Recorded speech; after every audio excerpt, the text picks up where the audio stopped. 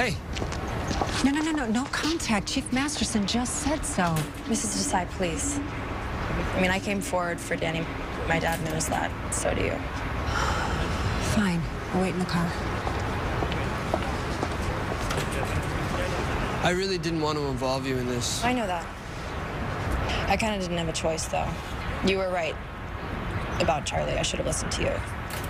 And I, I want to apologize. No, it doesn't. Doesn't matter. Your dad believes me, and, and you. He's gonna nail Charlie. I'm sure of it. I saw his face. Whose, whose face? Charlie's. What you did to his face. I didn't do anything to him. I mean, we got into an argument. I pushed him, but I didn't hit him. I believe you. Thank you.